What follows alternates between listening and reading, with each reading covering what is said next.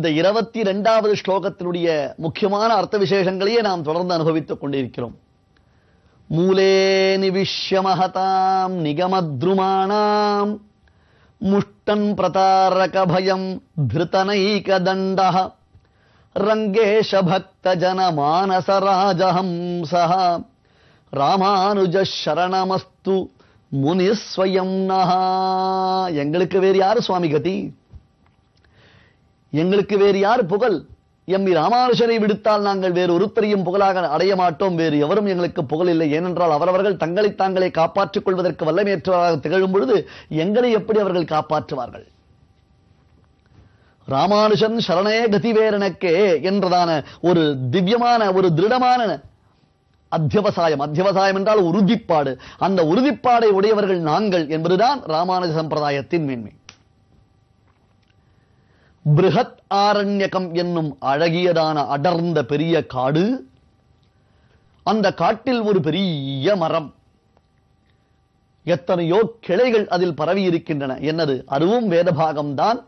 அதில் வீற்றிருக்கும் மாமுனிவர் எம்மி ராமானுஷன் அதில் வீற்றிருக்கும் மகாமுனிவர் எங்கள் யதிராசம். இப்பொழுது ஒரு விஷயத்தை நாம் பார்க்கலாம்.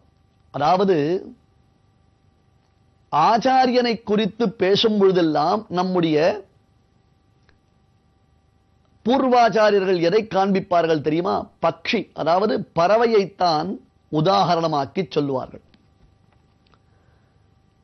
எப்படி பறவைக்கு இரண்டு சிறகுகள் உண்டோ அதுபோன்று கர்மம் ஞானம்.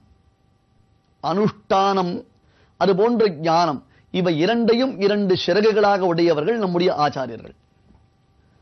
ஒரு கதை பார்க்கலாம் இந்த இடத்தில். அசோகவனத்தில் சீதாதேவி தன்னந்தனியடாக சிறை இருந்திருக்கிறாள் சிறை இருக்கிறாள் இருக்கும் சமயம் அது. அந்த சமயத்தில் அதிகமான காமத்தினாலே துன்புறுத்தப்பட்டவனான ராவணன் சொல்படி தகாத பேச்சுக்களை எல்லாம் பேசுகிறான். அது பொறுக்க முடியாமல் அங்கே பிராட்டி தவியாய் தவிக்கின்றாள். பின்னர் அங்கிருந்ததான ஏககரணி ஏகாட்சி முதலான ராட்சசிகள் ராவணன் சொல்படி பிராட்டியை துன்புறுத்துகின்றார்கள் பயமுறுத்துகின்றார்கள். அந்த இடத்தில் திரிஜடை என்று நல்லெண்ணம் கொண்டவளான ஒரு ராட்சசி அவர்கள் அனைவரையும் அடக்கிவிட்டு பிராட்டிக்கு சில நல்ல விஷயங்களை எல்லாம் சொல்லுகிறாள். தான் கண்ட சொப்பனத்தை சொல்லி அம்மா இப்பொழுது சொப்பனத்தில் நான் நல்ல விஷயத்தை பார்த்திருக்கிறேன். ஆகையால் நன்மைதான் நடக்கப் போகிறது என்று ஆஸ்வாசம் அளிக்கிறாள். இது ஒரு புறம் நடக்கிறது அல்லவா? அப்பொழுது ஏற்பட்டதான அதிகமான அந்த துன்பத்தினாலே பிராட்டி தன்னையும் மறந்து தன்னைத்தானே மாய்த்துக் கொள்வதற்கு முயற்சிக்கின்றாள். இது ஒரு தவறான முடிவு ஏனென்றால் தன்னைத்தானே மாய்த்துக் கொள்ளுதல் என்பது கொடியது மிக மிக கொடியது.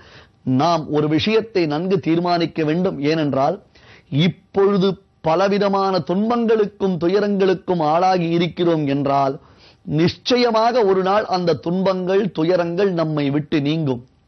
ஆனால் ஆத்மஹத்தியாக நாம் நம்மை மாய்த்துக் கொண்டோமேயானால் அந்த ஒரு துயரத்திலிருந்து நம்மால் விடுபடவே முடியாது.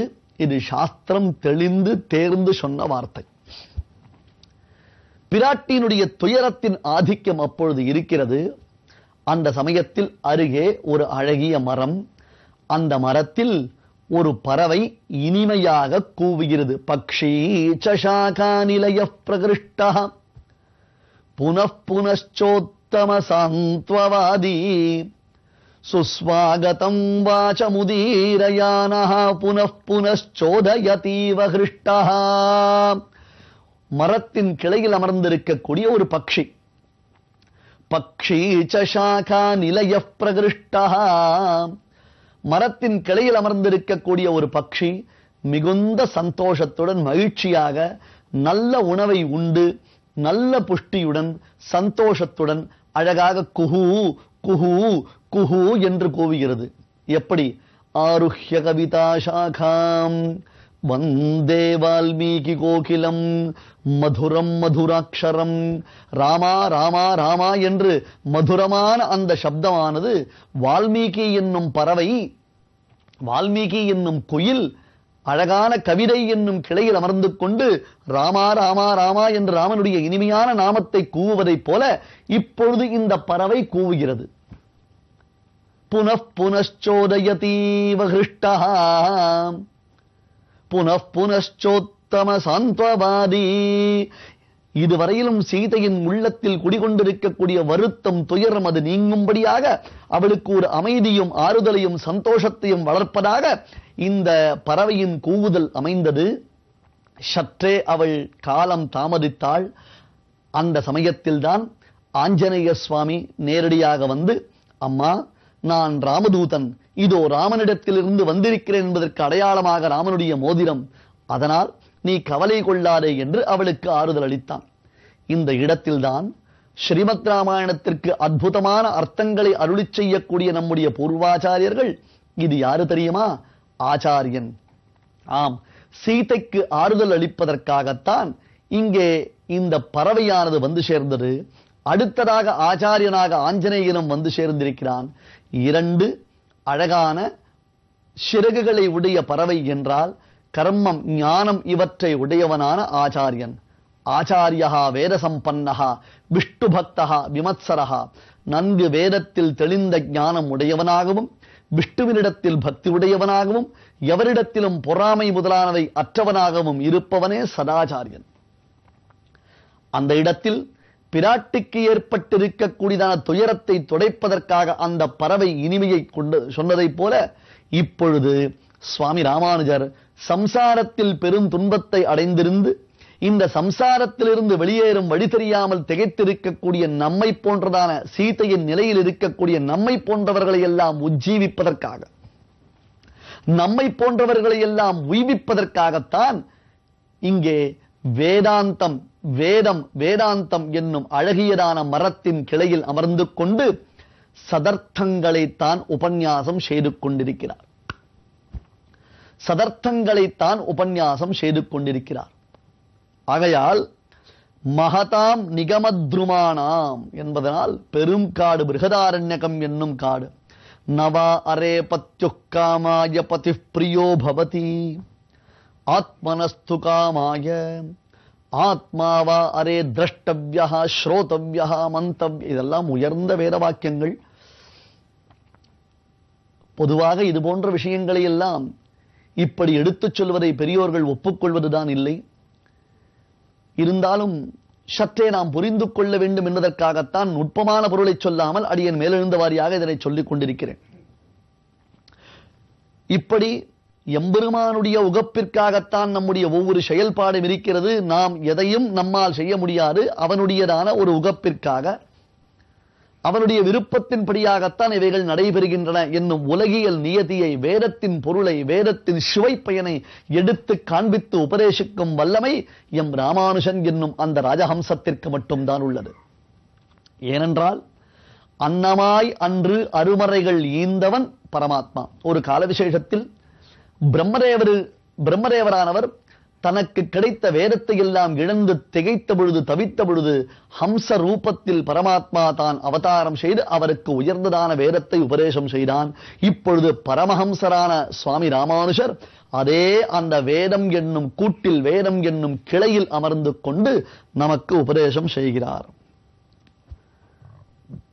ரங்கேஷ பக்தஜன மானசராஜஹம்சா என்னும் பொழுது பெரிய நம்பி முதலானவர்கள் ராமானுஜரைத்தான் தாங்கள் பெற வேண்டும் ராமானுஜர் தான் வர வேண்டும் என்று அவர்கள் ராமானுஷருக்காக காத்திருந்தார்கள் ராமானுஷரையே நோக்கி இருந்தார்கள் இதனைத்தான் சுவாமி மணவாள மாமணிகளும் அருளிச் செய்கிறார். ஸ்ரீரங்கராஜ சரணாம்புஜ ராஜஹம்சம். ஸ்ரீமத் பராங்குஷபதம்புஜபிருங்கராஜம் பதாம்புஜ பிருங்கராஜம் பரகாலமுகப்ஜமித்ரம் ஸ்ரீவத்ச சின்ன சரணம் யதிராஜமீடே. ராமானுஜர் ஒவ்வொரு ஆச்சாரியனிடத்திலும் எம்பெருமானிடத்திலும் எப்படியெல்லாம் இருக்கிறார் என்பதை வர்ணிக்கும் பொழுது ஸ்ரீரங்கராஜ சரணாம்புஜ ராஜஹம்சம். தேசிகனுக்கும் மாமன்களுக்கும் ஒரு சிறிய வித்தியாசம். என்ன? ரங்கேஷ பக்தஜன ரா- மானச ராஜஹம்சம் என்று வர்ணிக்கிறார். ரங்கநாதனிடத்தில் மிகுந்த பக்தி பிரீத்தி உடையவர்களான அந்த பாகவதோத்தமர்களுடையதான தெளிந்த மனதில் வசிக்கக்கூடிய ராஜஹம்சம் என்று சுவாமி தேசிகன் இங்கே சுவாமி மாமுனிகள் எப்படி வர்ணிக்கிறார்? பெருமானுடைய திருவடி தாமரைகள் ரங்கநாதனுடைய திருவடி தாமரை ஹம்சம் எதை அதிகமாக விரும்பும்? தாமரையில் தானே ஹம்சம் வசிக்கும். தாமரை தாமரை கிழங்குகள் தாமரை தண்டுகள் தானே ஹம்சத்துடைய விருப்பமான உணவு. தற்பொழுது ஸ்ரீரங்கராஜ சரணாம்புஜ ராஜ ஹம்சம் ரங்கராஜனுடைய சரண அம்புஜம் திருவடி தாமரைகள். அந்த திருவடி தாமரைகளில் வசிக்கக்கூடிய ராஜஹம்சம் யார்? எம் ராமானுஷன். இரண்டு மகனியர்களும் ராமானுஜரை ராஜஹம்சமாகத்தான் கொண்டாடுகிறார்கள். ஏனென்றால் இவர் பரமஹம்ச பரிவ்ராஜகர். முதலில் சோரன் என்ற பொழுது அதனுடைய அர்த்தத்தை பார்த்துக் கொள்ள வேண்டும். கையில் ஒரே ஒரு தண்டத்துடன் இருப்பது இல்லை திருதண்டத்துடன் இருப்பதினாலே திருத்த நைக்க தண்டகா. அடுத்தது ரங்கேஷ பக்த ஜன மானச ராஜஹம்சகா அந்த ராமானுஷன் அவருடைய திருவடி. எந்த ராமானுஷன் தெளிந்த சிந்தனையுடைய அந்த மகான்களினுடைய ஹிருதயத்தில் வசிக்கிறாரோ? எந்த ராமானுஷன் ரங்கநாதன் திருவடியில் மனது வைத்த மகான்களுடைய ஹிருதயத்தில் வசிக்கிறாரோ? அந்த ராமானுஷர் தான் அடியேனுக்கு சரணம். புகழ் ஒன்று இல்லா அடியேனுக்கு புகழாய் அடைக்கலமாய் விளங்குபவர் எம் ராமானுஷன் தான் என்று காண்பிக்கிறார். மேன்மேலும் மேன்மேலும் சுவாரஸ்யங்கள் அதிகமாக கொட்டி கிடக்கின்றன. இவை அனைத்தையும் அனுபவிப்பதற்கு எம் ராமானுஷன் எமக்கு அனுகிரகத்தை செய்யட்டும் என்பதாக பிரார்த்திக்கிறோம்.